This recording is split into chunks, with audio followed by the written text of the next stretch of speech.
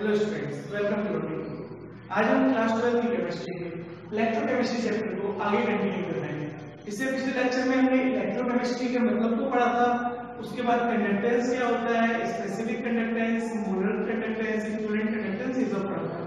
आज हम कुछ बेसिक और चीज़ें पढ़ेंगे जिसमें हम सबसे पहले पढ़ेंगे सेल सेल क्या होता है? सेल्स के टाइप्स क्या होते हैं? और उसके बाद उनके बीच में क्या डिफरेंस होता है? और फाइनली पढ़ेंगे हम इलेक्ट्रोकेमिकल सीरीज़ जो एक बहुत मोस्ट इंपोर्टेंट सीरीज़ है तो हम लोग स्टार्ट करते हैं सेल से। तो सबसे पहले अगर हम लोग बात करें सेल की तो सेल है क्या? सबसे पहले हमें ये होना चाहिए। तो सेल कुछ नहीं है। सेल क्या है? Combination of two electrodes is known as cell यानी जब भी दो इलेक्ट्रोड्स आपस में कंबाइन होंगे तो उनको क्या सेल्स बोलेंगे। ठीक है? तो सेल्स क्या है? Combination of two electrodes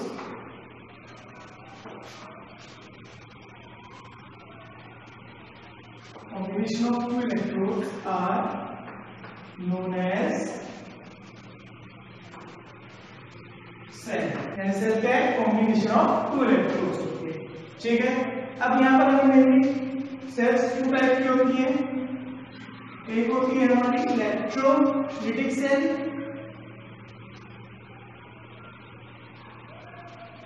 electrolytic cell और दूसरी होती है हमारी इलेक्ट्रोकेमिकल सेल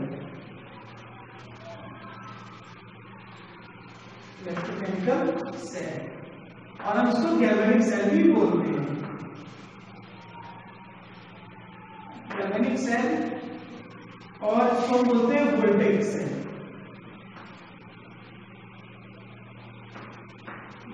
सेल ठीक है? तो हमारी सेल्स दो तरह के होती हैं इलेक्ट्रोलिटिक सेल और इलेक्ट्रोकेमिकल और गैल्वेनिक और वोल्टेज सेल तो सबसे पहले हम बात करते हैं इलेक्ट्रोलिटिक सेल के बारे में। क्योंकि इलेक्ट्रोलिटिक सेल की डिफरेंस पढ़ने से पहले आपको सबसे पहले ये पता होना चाहिए कि इलेक्ट्रोलिटिक सेल्स होती हैं। तो यहाँ पर मैं इलेक्ट्रोलिटिक सेल का डायग्राम बता रहा हूँ, जिसमें मैं एक चैम्बर ले रहा हूँ, जिसमें aqua solution of salt present है और इसमें दो इलेक्ट्रोड्स प्रेजेंट है। ठीक है? और वो दोनों इलेक्ट्रोड्स जो है, वो बैटरी के थ्रू आपस में कनेक्ट है। नेगेटिव टर्मिनल पॉजिटिव टर्मिनल ठीक है? अब, ये जो इलेक्ट्रोड्स है, यहाँ पर सबसे इंपॉर्टेंट पार्ट ये होता है कि ये पता करना कि एनोड कौन सा है और कैथोड कौन सा है। हम लोग ये पता नहीं कर पाते कि एनोड कौन सा है और कैथोड कौन सा है। ये बहुत बड़ी कंफ्यूजन रहती है। तो जरा ध्यान से देखिए। कॉमनली हम पॉजिटिव पार्ट को कैटायन बोलते हैं और नेगेटिव को एनायन बोलते हैं। तो हम समझते हैं? पॉजिटिव से जो जुड़ा है वो कैथोड होगा और नेगेटिव से जो जुड़ा है वो एनोड होगा, लेकिन ऐसा नहीं है। क्यों? अगर मैं यहाँ पर कोई भी सॉल्यूशन अपना रखता हूँ, जैसे मैंने बोला एक्वा सॉल्यूशन ऑफ़ CuSO4 मैंने यहाँ पे रखा है। तो CuSO4 ब्रेक डाउन हुआ Cu2 positive plus SO4 2 negative ठीक है? अभी जो SO4 2 नेगेटिव है हमारा अब अगर ये प्लेट पॉजिटिव है तो इसके ऊपर हमारा नेगेटिव पार्ट जाके अट्रैक्ट होगा। और जब नेगेटिव पार्ट अट्रैक्ट होगा तो फाइनली क्या होगा इससे नेगेटिव चार्ज आ जाएगा। इसलिए इसको हम लोग बोलते हैं एनोड क्योंकि नेगेटिव चार्ज को कैरी करता है। ठीक है? यहाँ पॉजिटिव चार्ज है तो ये कैथोड नहीं है, लेकिन क्योंकि नेगेटिव चार्ज को कैरी कर रहा है, इसका मतलब ये है एनोड सेम अगर मैं यहाँ पर बात करूँ तो ये नेगेटिव चार्ज जो पॉजिटिव चार्ज को फाइनली कैरी कर लेगा, और ये कहलाएगा कैथोड ठीक है? तो क्या कैथोड आपको पता चला? तो एनोड और कैथोड क्या होते हैं? ये आपको पता चल गया। ठीक है? अब हम अगर इलेक्ट्रोलिटिक सेल में बात करें तो सबसे पहला डिफरेंस क्या होगा? जरा ध्यान से देखो। यहाँ पर आपने बैटरी का यूज़ किया है। यानी यहाँ पर आप इलेक्ट्रिकल एनर्जी को कन्वर्ट करने इसमें केमिकल एनर्जी देखो, क्या केमिकल से ब्रेक डाउन हो रहा है? ठीक है। यानी इसका मतलब इलेक्ट्रिकल एनर्जी कन्वर्ट हो रही है केमिकल एनर्जी तो इसका मतलब अगर मैं यहाँ पर लिखूं तो मैं लिख सकता हूँ it converts electrical energy into chemical energy chemical energy ठीक है?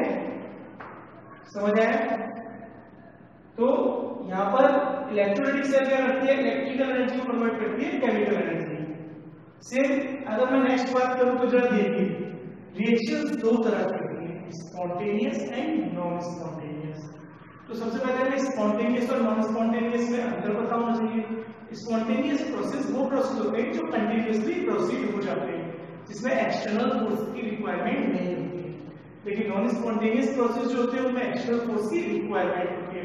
यानी वो एक फोर्स एक्सर्ट करने के बाद ही वो होता है। तो अगर यहाँ पर देखें तो यहाँ पर क्या, अपने आप केमिकल रिएक्शन हो रही है नहीं आपने अलग से एक्सटर्नल सोर्स इनको दिया है। और ये एक्सटर्नल सोर्स क्या बैटरी इसका मतलब जब तक आप एक्सटर्नल सोर्स नहीं देंगे तो केमिकल रिएक्शन नहीं होगी। तो इसका क्या मतलब है? ये नॉन स्पॉन्टेनियस प्रोसेस है। यानी अपने आप अगर नहीं हो रहा है, आप बैटरी लगा रहे हो तो ये प्रोसेस हो रहा है। तो यहाँ यहाँ पे मैं लिखूँगा, ये क्या है? नॉन स्पॉन्टेनियस प्रोसेस है non spontaneous process. क्या ये बात समझ ठीक है। अब दो पॉइंट्स हो गए अब अगर इलेक्ट्रोकेमिकल सेल की बात करें तो इलेक्ट्रोकेमिकल सेल जो होती है, वो कन्वर्ट करती है केमिकल एनर्जी को इलेक्ट्रिकल एनर्जी में। अभी इसके बाद जब मैं आपको इलेक्ट्रोकेमिकल सेल पढ़ाऊँगा थोड़ी देर में तो उसमें आपको क्लियर तो यहाँ पर डिफरेंस लिख लेते हैं, उसको आगे क्लियर करेंगे तो ये क्या करेगी? ये करेगी एक convert chemical energy into electrical energy. और सेकेंड ये रिएक्शन जो होती है, इसमें स्पॉन्टेनियस प्रोसेस होता है। यानी इलेक्ट्रोकेमिकल सेल में जो प्रोसेस होता है, वो क्या होता है? स्पॉन्टेनियस स्पॉन्टेनियस प्रोसेस होता है, ठीक है? अब दो डिफरेंस हो गए। अब अगर मैं थर्ड डिफरेंस की बात करूँ तो थर्ड डिफरेंस में दोनों में लिख सकता हूँ, कि यहाँ पर इलेक्ट्रोलिटिक सेल में, जो एनोड होता है वो पॉजिटिव चार्ज होता है और कैथोड जो होता है वो नेगेटिव चार्ज होता है। यहाँ पे एनोड जो होगा वो पॉजिटिव चार्ज होगा और जो कैथोड होगा वो नेगेटिव चार्ज होगा।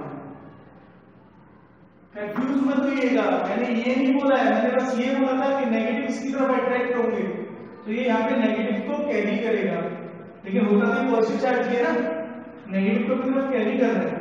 तो इसलिए इसको एनोड बोला गया और ये पॉजिटिव को अपनी तरफ़ कैरी कर रहा है, इसलिए इसको कैथोड बोला गया ठीक है? कंफ्यूज नहीं होना है सेम अगर मैं बात करूँगा यहाँ पर इलेक्ट्रोकेमिकल सेल की तो इलेक्ट्रोकेमिकल सेल में जो एनोड होता है, वो ऑलवेज नेगेटिव चार्ज की मिलेगा ठीक है? और जो कैथोड होगा, वो ऑलवेज पॉजिटिव चार्ज होगा ठीक है? ये तो हो गया हमारे difference difference between electrolytic cell and electrochemical cell अब हम इलेक्ट्रोकेमिकल सेल को पढ़ने से पहले इलेक्ट्रोकेमिकल सीरीज़ के बारे में पढ़ लेते हैं कि इलेक्ट्रोकेमिकल सीरीज़ क्या होती है और उसकी इंपॉर्टेंस क्या है? उसके बाद अगर हम गैल्वेनिक सेल को पढ़ेंगे तो हमें इजीली समझ आएगा। गैल्वेनिक सेल मतलब इलेक्ट्रोकेमिकल सेल ठीक है? तो पहले हम इलेक्ट्रोकेमिकल सीरीज़ के बारे में पढ़ लेते हैं। इलेक्ट्रोकेमिकल सीरीज़ तो इलेक्ट्रोकेमिकल सीरीज़ को मैं यहाँ पर लिख रहा हूँ। ठीक है? ये है आपकी इलेक्ट्रोकेमिकल सीरीज़ ठीक है? ये इलेक्ट्रोकेमिकल सीरीज़ लिथियम से स्टार्ट होकर के मैग्नीशियम के बाद एल्यूमिनियम आता है। नीचे स्पेस लेना है, इसलिए मैंने यहाँ पर लिखा है। तो आप कंफ्यूज ना हो। तो मैग्नीशियम के बाद एल्यूमिनियम सेम यहाँ पे कोबाल्ट के बाद निकल आएगा और सेम मरकरी के बाद एजी यानी सिल्वर आएगा। ठीक है? और पर खत्म हो गई अब सबसे इंपॉर्टेंट चीज़ ये है कि सबसे पहले हमें इलेक्ट्रोकेमिकल सीरीज़ याद होनी चाहिए इलेक्ट्रोकेमिकल सीरीज़ है क्या? तो इसको याद करने का तरीका लेते हैं पहले। ये होगा ले के बाबा का नाम, मांग, अली मंजन कर, फिर कैडमियम को निकल सन डी एच टू ठीक है? फिक्स रहेगा?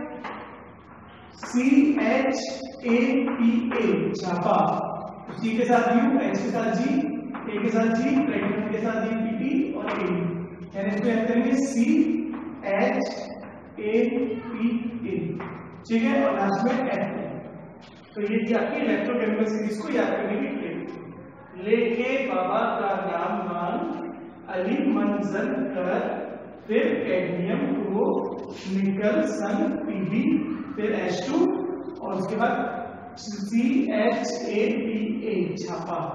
है ना? सीधे वाला छापा। ठीक है? और बाद में एफ़ ठीक है? अब इस इलेक्ट्रोकेमिकल सीरीज़ में अगर हम डाउन द ग्रुप जाते हैं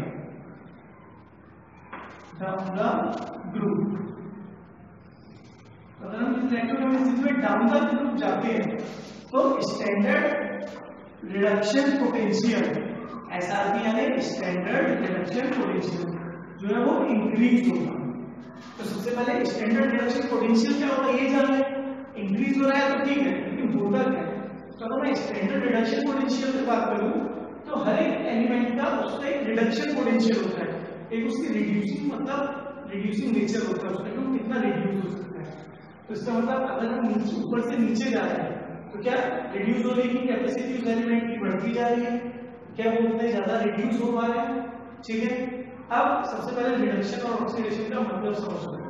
उसके बाद फिर रिड्यूसिंग पावर और स्टैंडर्ड रिड्यूसिंग पोटेंशियल ये सब समझना तो सबसे पहले हम बात करें ऑक्सीडेशन तो ऑक्सीडेशन का मतलब होता है लॉस ऑफ़ इलेक्ट्रॉन्स इस बात को बेटा याद रखना है, बहुत इंपॉर्टेंट है। है ना? ऑक्सीडेशन मतलब लॉस ऑफ़ इलेक्ट्रॉन्स और रिडक्शन मतलब गेन ऑफ़ इलेक्ट्रॉन्स ठीक है? तो ऑक्सीडेशन और रिडक्शन का डिफरेंस पता चला।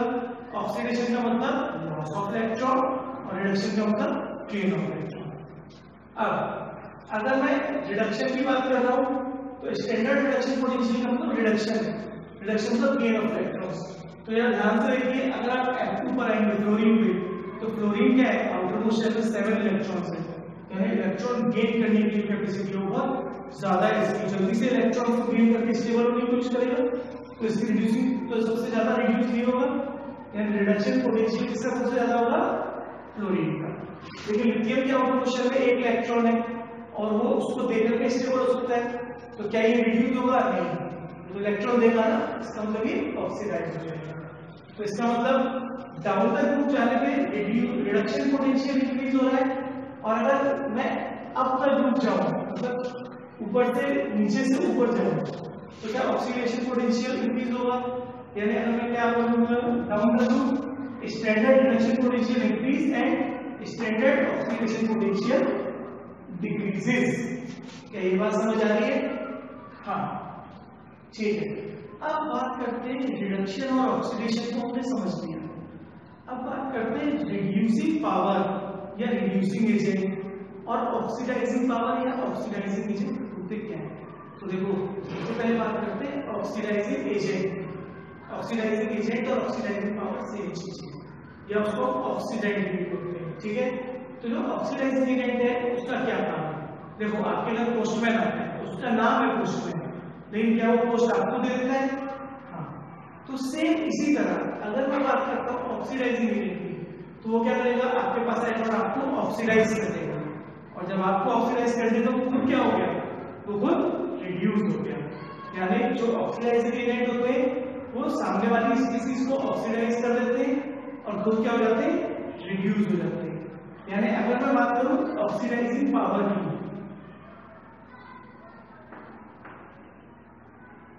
ऑक्सीडाइजिंग पावर या ऑक्सीडाइजिंग एजेंट तो down the group oxidising agent क्या इंक्रीज होगा? है ना? यानी बेस्ट ऑक्सीडाइजिंग एजेंट कौन होगा? जो दूसरे को ऑक्सीडाइज करते हैं खुद रिड्यूस हो जाए रिड्यूस का मतलब गेन ऑफ़ इलेक्ट्रॉन्स क्या लिथियम गेन ऑफ़ इलेक्ट्रॉन नहीं।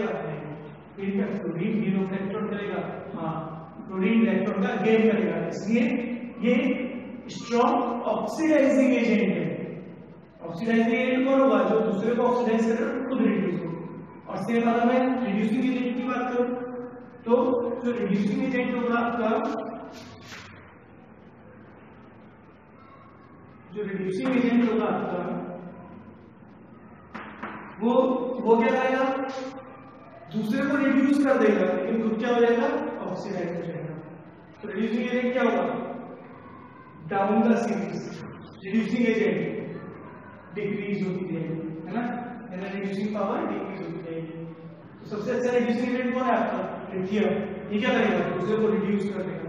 और खुद क्या होगा ऑक्सीडाइज कर देगा। ऑक्सीडाइज का मतलब इलेक्ट्रॉन को लॉस कर देगा और स्टेबल हो जाएगा।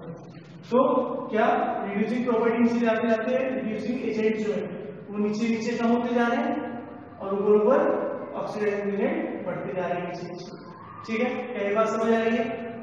यहाँ तक कोई डाउट है? चलो, आगे बढ़ते अब आपको एक बात और याद रखनी है। अगर मैं इलेक्ट्रोकेमिकल सीरीज़ में बात करूँ तो हमेशा जो ऊपर वाले मेटल्स होते हैं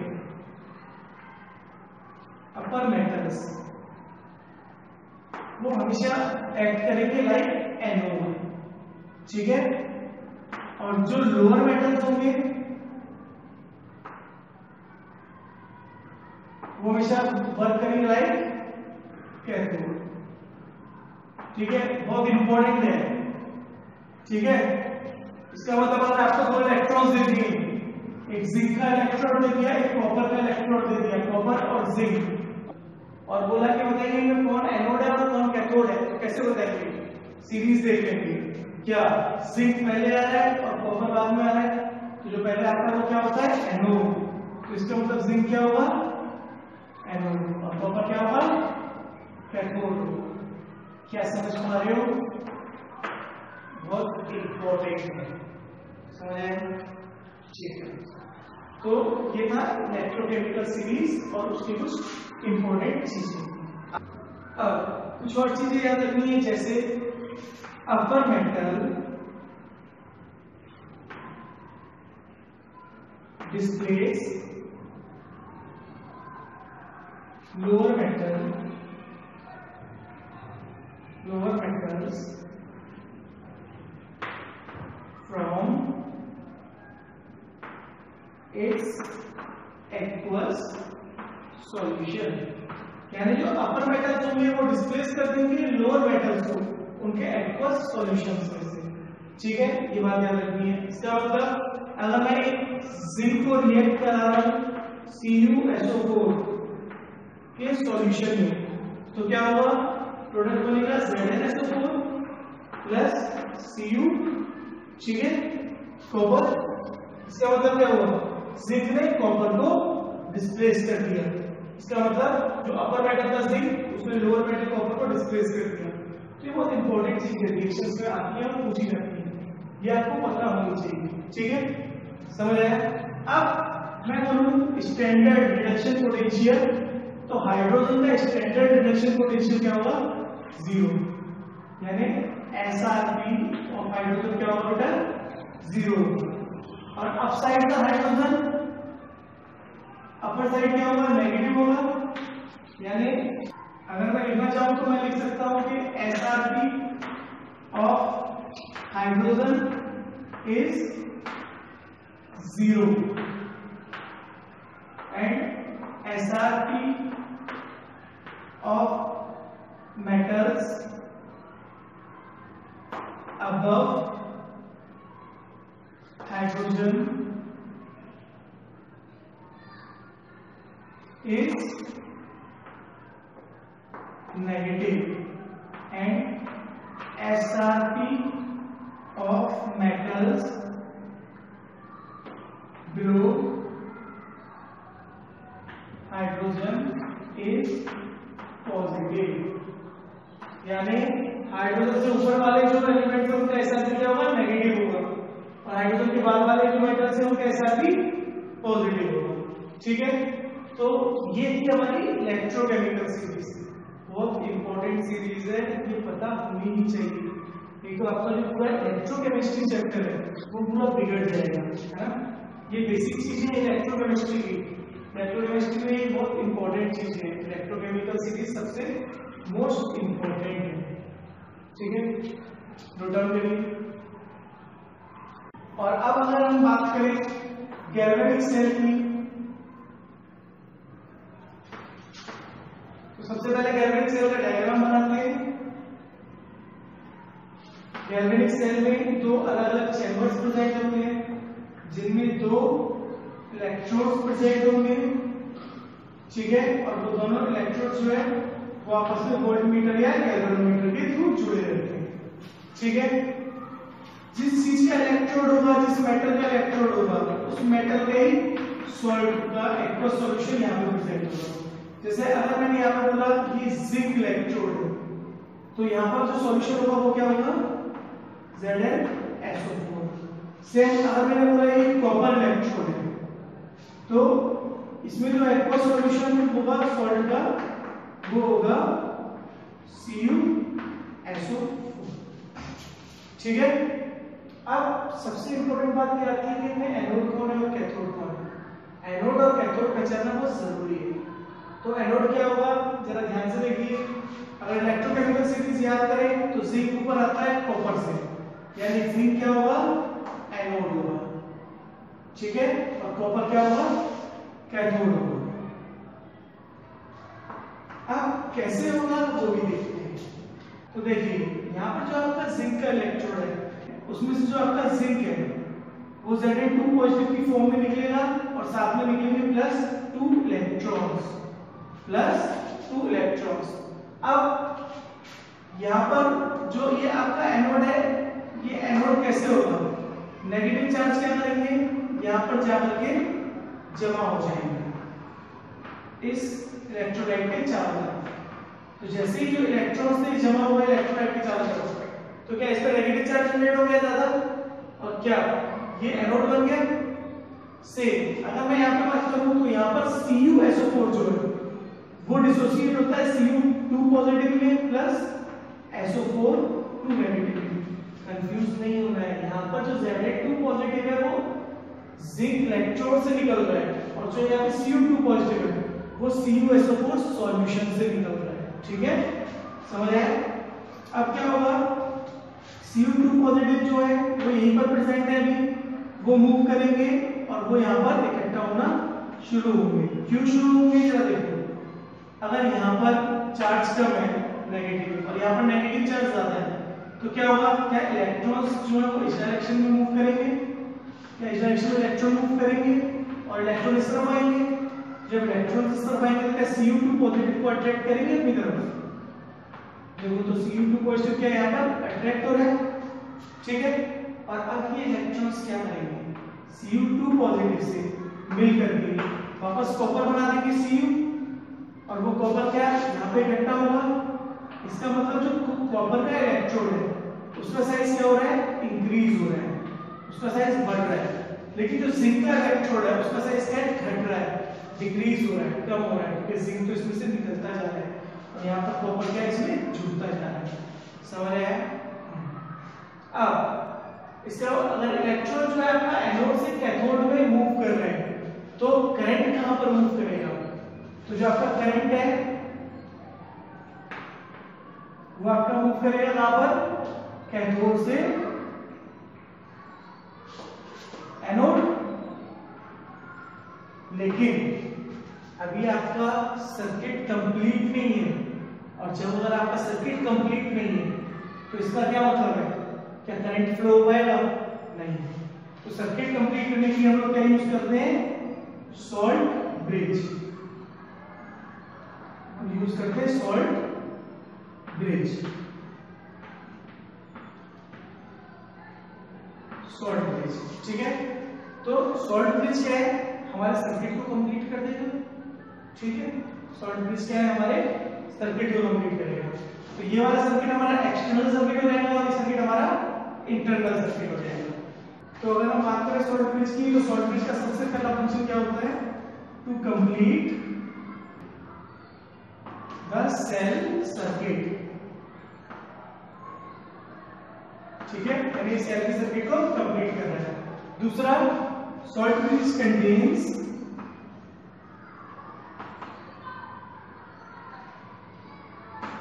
contains inert electrolytes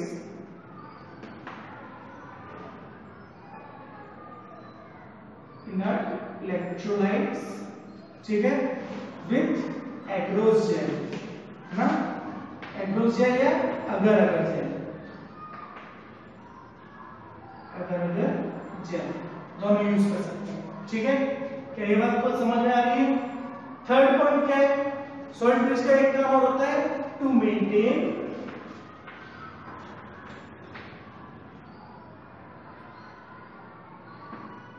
electrical neutrality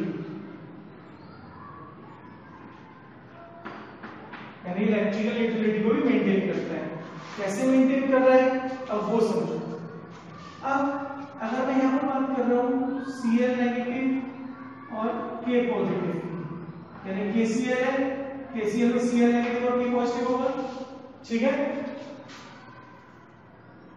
Cl negative और K पॉजिटिव तो ध्यान से देखिए, जब सारे के सारे इलेक्ट्रॉन्स इधर मूव कर रहे हैं कहाँ पर? एनोड से कैथोड में। तो क्या नेगेटिव चार्ज का होगा?